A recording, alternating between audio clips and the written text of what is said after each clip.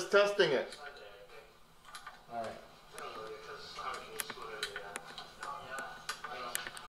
Broadcast started. We're live. Hello, everybody. Uh, my name is Joseph G. Bella, and I'm Vice President of the, uh, Vice President Historical, Historical Society. And right now, we're located at the Society headquarters. And as of September of 2019, we are now the um, Museum of Methuen History. And we're uh, filming here on, on location as part of the Trails and Sails Let it reconnect. Events. Don't touch anything. and um, we're going to be highlighting the life and times of uh, Methuen-born Major Robert Rogers uh, of Methuen. And uh, I'm going to mention briefly his birth um, and his, uh, the family's moved to uh, Dunbarton, New Hampshire, and then Tom Spitalere will cover the rest of the uh, history of uh, Major Robert Rogers. So You ready? And Here is Tom Spitalere. All right, before we get started though, I want to thank everybody for coming out for this Trails and Sails event. Like most of the events right now, we're having major issues with uh, the technology. Um, It dropped on the Methuen page, We hope to get that back. We're still gonna run it on my page, and I tried running it on the third page and it locked me out. So technology isn't going well. But Trails and Sails was formed years ago to give a chance to get everybody to look at their own backyard. What isn't here in the Essex National Heritage Area? So with these big events going on, and they go right through the weekend, so check out trailsandsails.org. There's over 200 free events in a week and a half. We're about a third of the way through. With there's events tomorrow, tonight, and all the way through Sunday night. So check them out. Some this year we're going virtual, as you can see. We're having all sorts of virtual issues. And with that, I want to reintroduce Joe, who's going to talk about Rogers in Methuen. There you go, Joe. Okay, very good. I'll go this way this time. Okay, Major Robert Rogers was born in Methuen on November 7, 1731, the son of James and Mary Rogers. And um, seven days later, November 14, 1731, he was baptized at the First Church Congregational by its first minister, um, Reverend Christopher Sargent, uh, who, by the way, is, is buried at Meeting House Hill Cemetery here in Methuen. The birthplace place was located at the corner of Cross and Hampshire Road, about 44 acres of land, and the house was probably located on the western slope of the hill located there on uh, Cross Street. Um, The property uh, itself um, was it listed in an unrecorded deed, and it was land sold to Robert Rogers' father, James Rogers, by Robert Swan. And, um, let's see. The late Methuen city historian Ernest G. Mack spent three, over three years to locate the birthplace of Robert Rogers. The uh, book, Northwest Passage, as we all know, was written by Kenneth Roberts, who visited Methuen um, before the uh, location of Rogers' birth site, and he couldn't find where Robert Rogers was born um, as he was writing Northwest Passage. So, moving ahead, uh, again, uh, city historian, the late Ernest G. Mack, located Rog- Robert Rogers' birthplace, and we have to thank Ernest's mother, Eva Kelly Upham.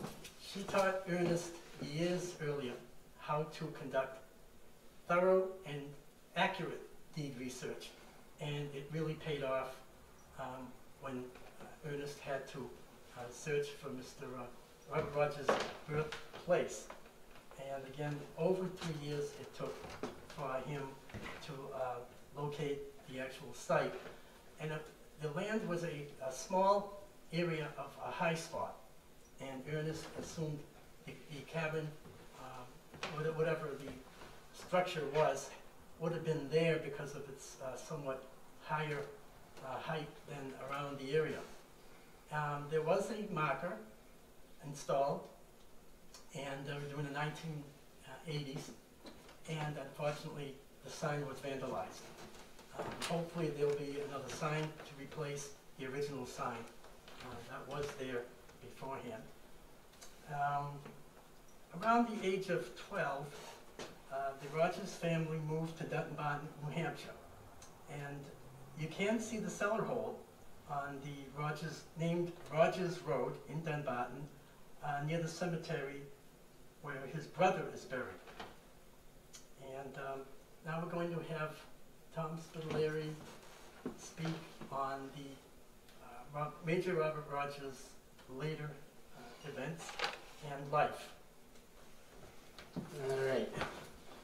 I want to apologize, we're having so many technical difficulties that we're not going to be able to show this the way I wanted to show it, but I want to thank LCAT for coming in, so if you want to check their YouTube video, great. Um, so, we got the, we got up to Dunbarton, and we know where, um, the cellar hole was located at the, uh, near the, where the cemetery where his brother's buried. So, in 1794, Rogers sees active duty in King George's War. At the age of 15, uh, Concord attacked, uh, served as private in Captain Daniel Ladd's scouting camp, July 16 to October 2nd, 1746. He guarded the frontier of New Hampshire.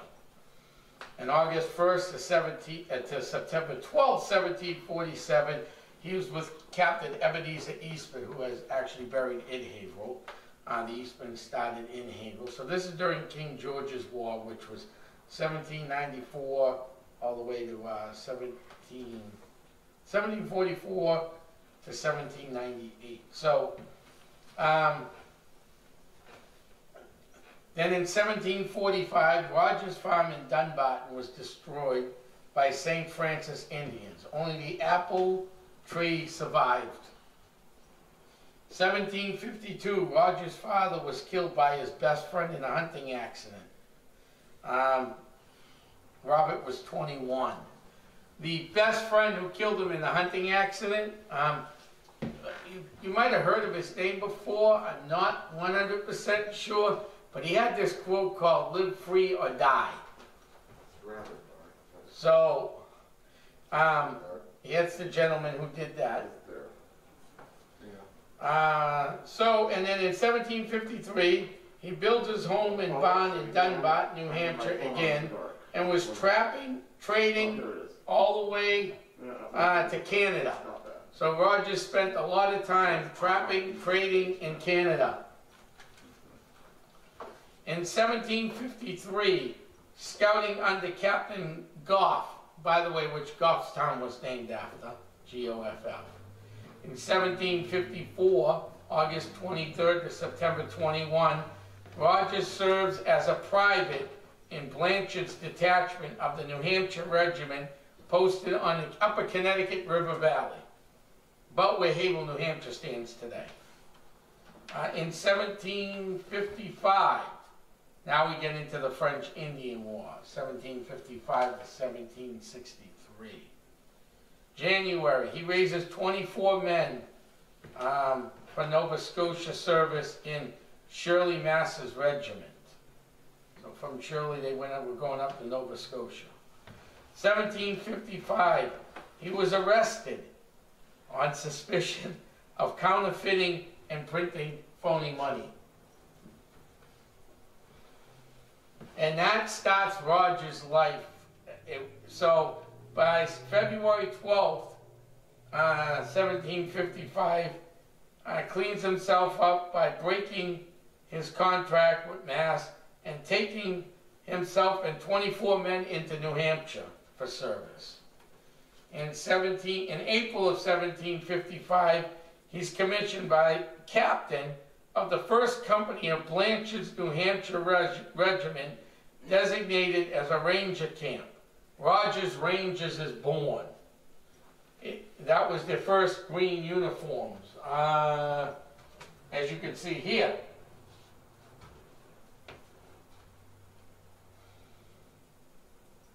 Seventeen fifty-five, he fought in the Battle of Bloody Pond. This was the first battle he was in with his own men. Now, for tonight's purposes, tonight was the life and times of Major Robert Rogers. We're going through his life and times, but um, the next event that we do have um, with Rogers, I'm going to go in depth about his his first battle, because that bloody pond battle made Rogers who he was and helped him build and cement his legacy. June 1755 builds Fort Wentworth at the forks off of the Connecticut and the upper Ammonoosuc River in Coos County, New Hampshire. August 20th, his camp, uh, his camp is detached from the New Hampshire Regiment to join Johnson at Lake George and add to his scouting um, army. So, Lake George, as everyone can see, is right here. Here's Champlain and Lake George. Um, as you can see, um, this is pretty much what won the, con- uh, the conquest of the French Indian War. And you can see the map of Lake George here and all the forts along Lake George. Hello, Moto. All right. Oops. I'm jumping ahead. I don't want to do that. Mm. Okay. And 1755 to 1761, he fought in 27 battles and caused the French many problems. He continued to hone his skills between battles, turning his men in uh, and teaching them the Native American style of warfare. Now I'm going to go back before I continue to shoot these dates. Remember, Joe said Robert was born in Methuen. He was. He was born on the Haverhill Dracut Path, which was also a major Native American route from Haverhill to Dracut. Um, and it started at the old Dracut town, uh, uh, Haverhill Town Hall and came up the back way in, up around the Rogers off of Cross Street, and then ends up in Dracut, Massachusetts. He was he was taught by Native Americans their style of fighting. So all these early raids that he started in the Battle of Bloody Pond and the rest of them, when during the French Indian War in this time period, the British would line up thousands of men or hundreds of men, and they would fight, and that's how they fought. Rogers taught his men how to shoot from behind stone walls, trees, um, and I'm going to get into the major battle that defined Rogers' career. There were two battles. One we're going to discuss tonight, and one I'm going to hold off. Because I'm still working on a couple things on that. So in 1756, he commanded a, a uh, commissioned to form an independent camp of Rangers. So what happened between the time he was arrested for making money, um, the queen knew he could fight. So she sent somebody down to the jail and said, we're going to commission you as leader of your own ranger corps and you're going to train your men or do you want to stay in jail? Well, no one wants to stay in jail, so he left. So they commissioned the Rangers and um, the New Ranger Corps, independent camper rangers. These men were most fearless, aggressive group you could find. Um, they were hunters, trappers, thieves. They were not your British regulars. They were not the prim and proper soldier. These guys were not, these guys were backwoodsmen, basically. So he puts them together. As an independent um, camp, he, un, he uh, under British military jurisdiction, um, he had a code of conduct for his men. Ah, the code of conduct. Oh, that's a standing orders, which was, is also standing orders. Um, All right, I'm gonna get into that. So there's code of conduct, the standing orders. I'm gonna go over a few of these because they're quite interesting. Again, that's the uniform they were using. So, his first on the code of conduct, don't forget nothing. Very important. Have your musket clean as a whistle, hatchet scoured, 60 rounds of powder and ball, be ready to march at a minute's warning. When, uh, when you're on a march, act the way you would as if you were sneaking up on a deer. See the enemy first. Tell the truth about what you see and what you do. This is an army depending on us for correct information. You can lie to all you please when you tell the other folk about the Rangers, but never lie to a ranger or an officer. Hmm. Don't never take a chance you don't have to. When you're on march, we march single file, far enough apart so if someone is shot, they cannot go through two men. That would work today with six feet social distancing. Yeah. Uh, that was, that's a good one. Don't, um, if we, if we strike swamps or soft ground, we spread out abreast, so it's hard to track us. When we march, we keep moving till dark, so as to give the enemy the least possible chance to hit us. When we camp, half the party stays awake while the other half sleeps. If we take prisoners, we keep them separate till we had time to examine them, so they can't cook up a story between them. Don't ever march home the same way, and we'll get into that in a few minutes. Take a different route that you would, so you wouldn't get ambushed. No matter the weather, we travel in big parties or little ones. Each party has to keep a scout 20 yards ahead and 20 yards on each flank and 20 yards in the rear, so the main body cannot be surprised and wiped out. Every night you'll be told where to meet if surrounded by superior force. Don't sit down and eat without posting sentries. Don't sleep beyond dawn. Dawn is when the French and Indians attack. Don't cross a river by a regular ford. Create your own. And he did do that. If someone's trailing you, make a circle, come back onto your own tracks, and ambush the folks that aim to ambush you. Don't stand up when the enemy's coming against you. Kneel down, lie down, hide behind a tree. Let your enemy come till almost close enough to touch, then let him have it and jump out and finish him with your hatchets. So that's how you save ammunition.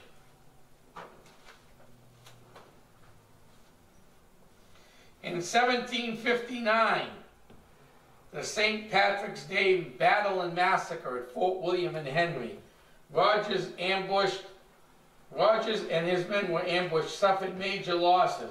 Rogers was injured. Um, temporary relinquished command of his rangers and uh, led and led his men to safety and held off the attackers and escaped at night back towards Fort William, back towards the fort. Um,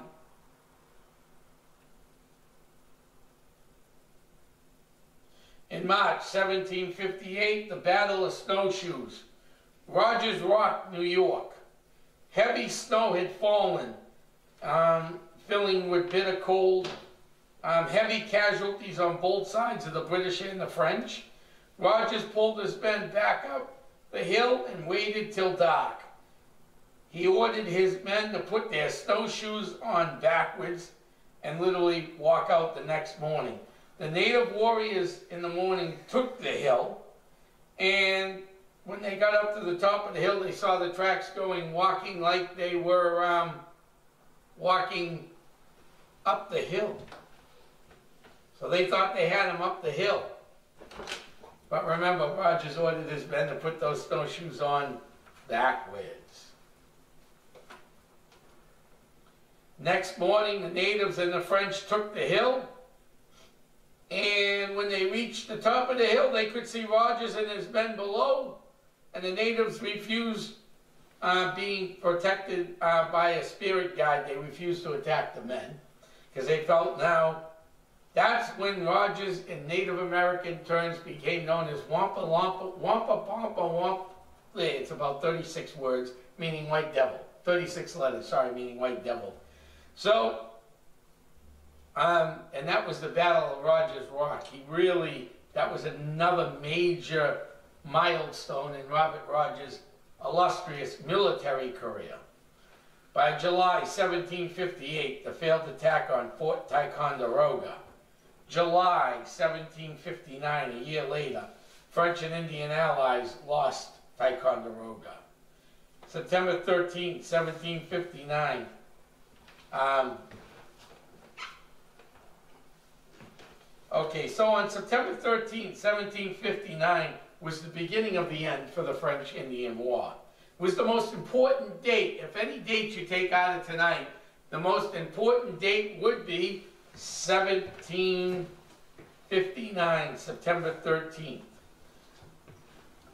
General Abercrombie is given the realm to go up to Quebec, to the Plains of Abraham.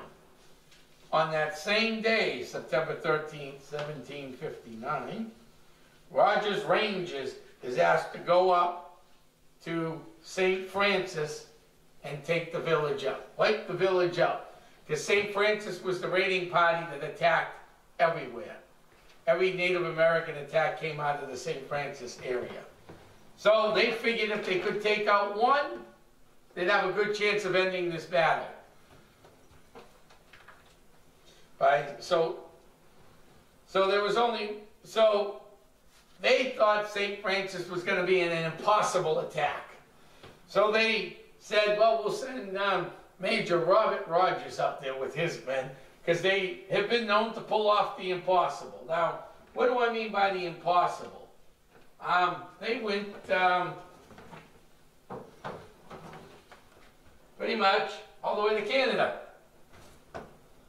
Now, how did they get there? In the book no- outline Northwest Passage, you can see some of the stuff that went on up there. They made their own boats, they forged their own rivers, crossing some very tough waters.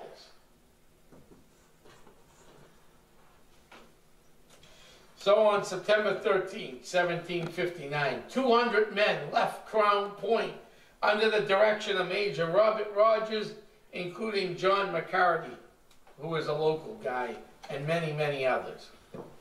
The mission was to destroy St. Francis Village, home of the Abenaki, also called Odanak, located on the St. Lawrence River in New France. So the St. Lawrence River in New France is all the way up here. So they're going. They got a ways to go. He and his 200 men don't press, what's it, went off? Oh. Him and his 200, okay. So him and 200 men left Crown Point on the evening of September 13th, 1759. He went down Lake Champlain to Missisquoi Bay. Everything was going according to plan until the fifth day, when a keg of gunpowder exploded, wounding Captain Williams. Now, when you're on a march like that, you have wounded soldiers, it's, you, you gotta send them home. So Captain Williams was sent back with some men. Reduced to 140, they forged on. By September 20th, they arrived at Missisquoi Bay without detention. He left a few trusted natives to hide and watch the boats and supplies. They actually went up over mountaintops with these boats. They carried them through the woods, and we're not talking about light canoes. We're talking about dugout canoes. They weighed hundreds and hundreds of pounds. So, um, all right. A few days later, the natives caught up with Rogers and told him that the boats and supplies were discovered. Rogers sent Levy, uh, Lieutenant Levy McMillan with ten men to Crown Point so he could have food and supplies sent to Charlestown at Fort Number Four. Now, I've been out to the location of Fort Number Four. Um, it's located right on Route ten in Charlestown. There is a museum, a newer museum built to look like the old Fort Number Four, but not in the same location. We haven't been there yet. By the tenth day, the, the Rangers were only 15 miles south of St. Francis. They forged on the St. Francis River, making a human chain to cross the St. Francis River. By 8 p.m. on September 23rd, 1759, Major Rogers, um, Lieutenant Levy Turner, and Sign Avery. Um, what? That one we gotta run.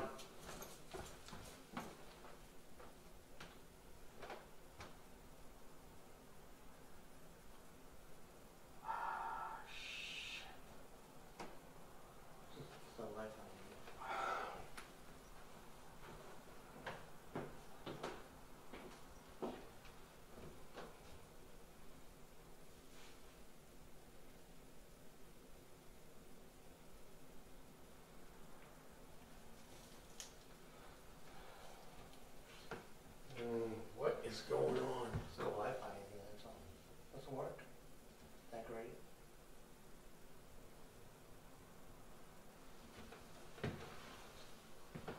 Just zoom in on this stuff for a minute, Daniel. I am.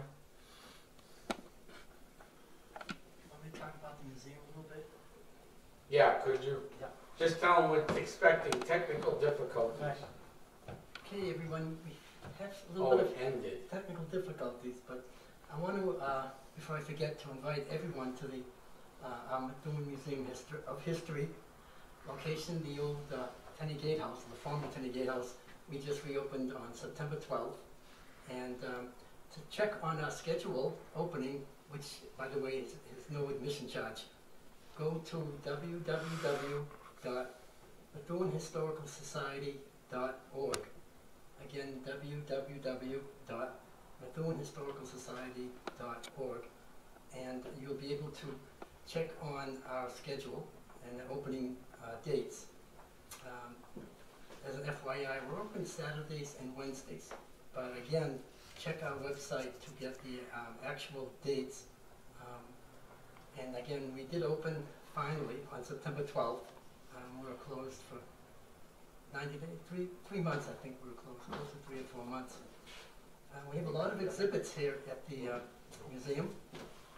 And um, of course, we cover the three millionaires, Searles, Tenney, and Nevins.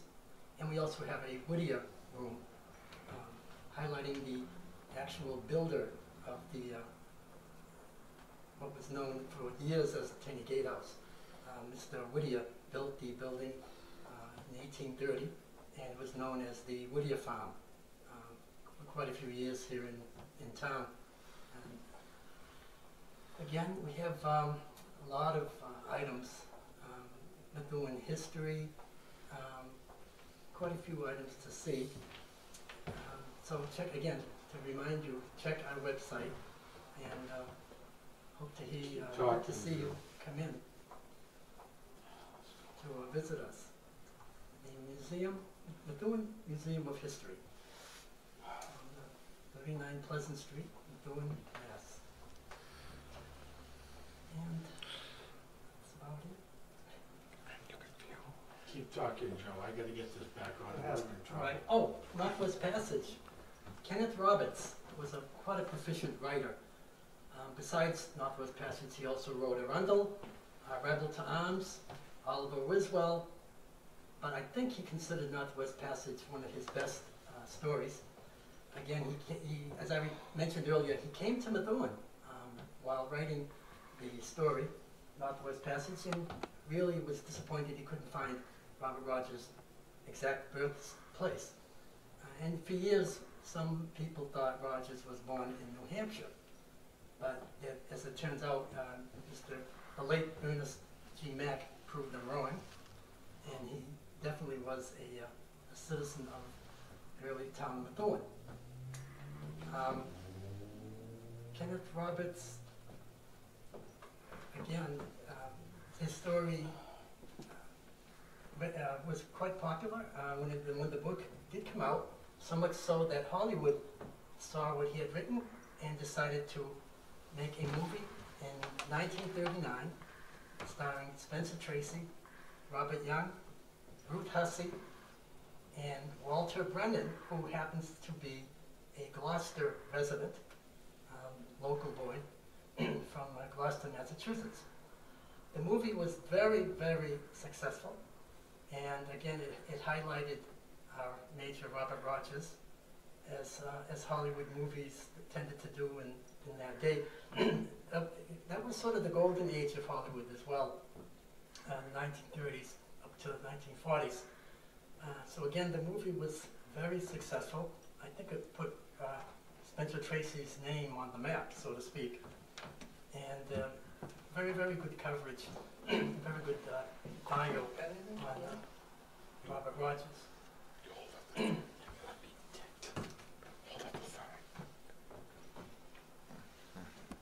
Here's the po- my poster from my collection, one of the items. And another, uh, a couple of small posters I brought here. Northwest Passage, that's that one there. And this one here. Northwest Passage. Also in my collection, I brought a book published in London in 1761. The only thing new about this book, of course, is the cover. The insides, again, was published in 1761 in London, and it's Rogers' first book, a concise account of North America, written by Major Robert Rogers, printed in London, printed for the author in uh, 1761. And it's quite an account of North America in the 1750s and 60s. And again, written by Major Robert Rogers. The entire book, except for the cover. That's new. And I purchased this in an antique shop in Portsmouth, New Hampshire. And coincidentally, I was attending Tenney High School, class of 63 high school reunion, and the hotel was the Hotel Marriott that we were staying in. And I took a walk outside the hotel one day, walked into the antique shop, saw the book, and it said, "You must buy me." Robert Rogers. And I purchased it, and I'm glad I did. And again, it's Rogers' first book. He had written a couple, I think The Life of Pontiac, and that was more like a play. It was sort of a play. In fact, it might have been, uh, it would be the first play ever written by um, someone from the United States, uh, American colonies actually, the American colonies, colonies before the United States. And so, Mr. Rogers was a pretty good writer as well as, uh, the leader of Rogers Rangers. All right, we're gonna finish this. I'll figure out what we're gonna do later on. I'll get it out somehow this week. All right, sorry about that. We, we have a, we had to do this virtual and for some reason it's just not working. Um, okay, so at four thirty AM, the Rangers surrounded St. Francis and attacked, killing everyone in sight. Um, that was, the same, uh, Indians that tried to flee, the natives that tried to fl- flee, but they were escaping. Rogers um, reported the incident, uh, 200 Abenaki uh, warriors were killed, and Captain Organ, uh, Ogden was wounded, six privates were wounded, one native scout dead. The raid was over by 7 a.m. They feared some hostages and they, um, they freed some of the hostage, hostages, released for an hour, and then started their, uh, for home. Eight days they stayed together, but food was running low, and some of the rangers took loot instead of food, this would actually cause them hardship and death on the way back.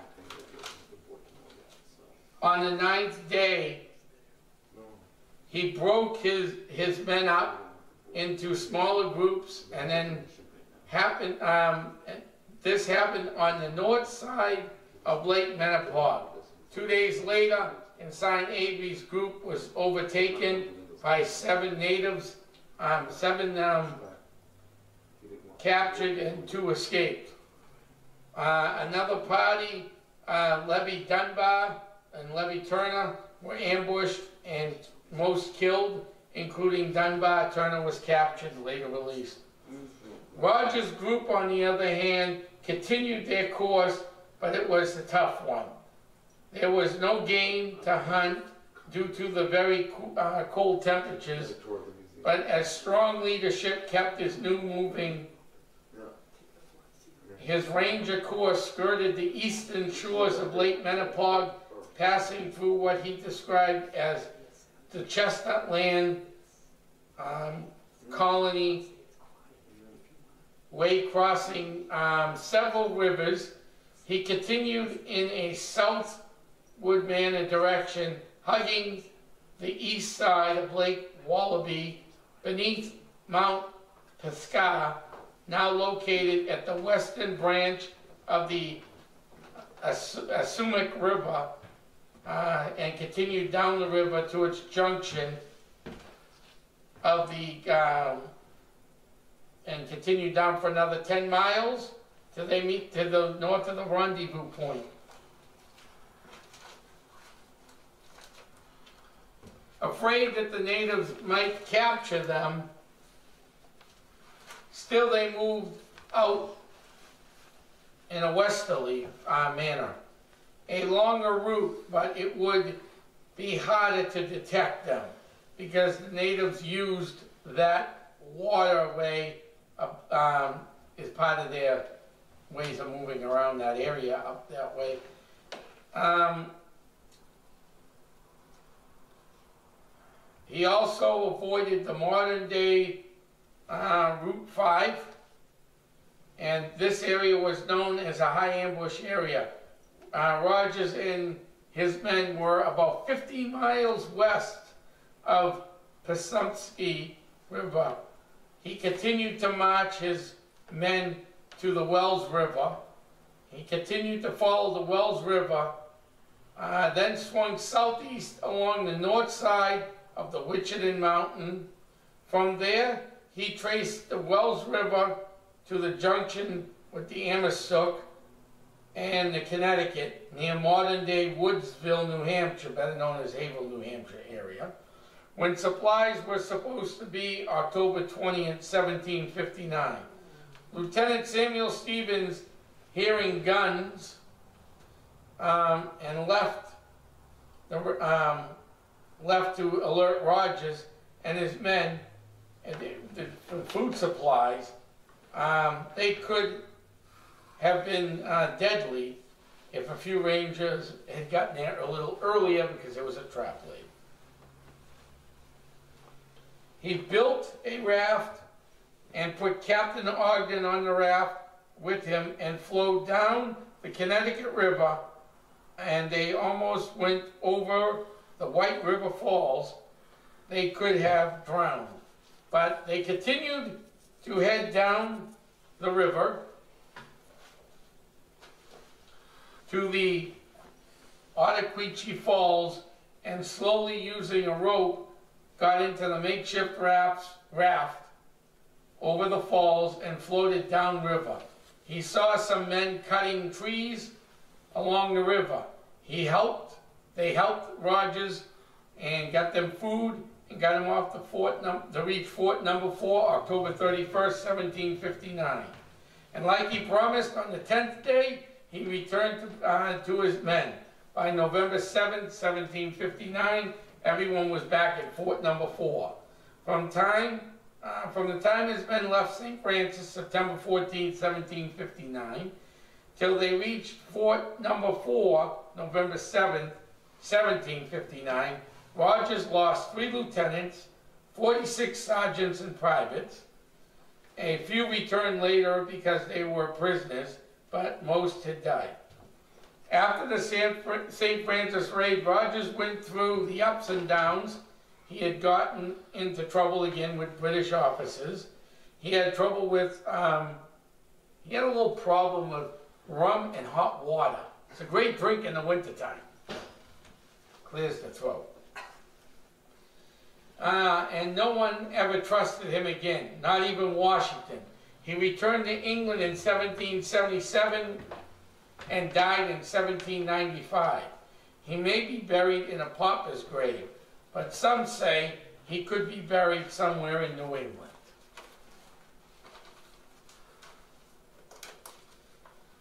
Even though Rogers, um, let me just explain this somewhere in New England. Um, there's a story that he, his body was dug up in England, brought back to Vermont, and buried where his brother is out in Vermont. There's another story, and not too far from here, just outside of Portsmouth, a little graveyard, and there's a stone sitting on his ex-wife's family plot that says M. Robert Rogers. And that is it. So we don't know where he's buried. Even though Rogers um, faded out of glory by the end of his life, his legacy lives on.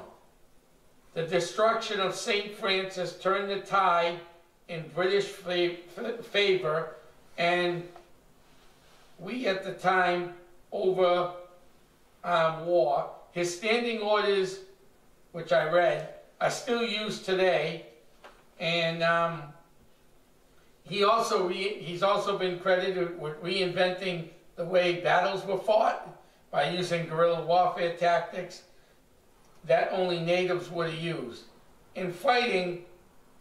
So when you leave, when you hear someone talk about the great war heroes, please let them know that not all warriors are fully explained in history classes or in schools across America. Remember Robert Rogers. I want to thank everybody for tuning in. I know we had a lot of problems today, but um, thank LCAT for sticking this one out because there were problems galore with the technology. And we'll see you again real soon. Thank you very much for tuning in.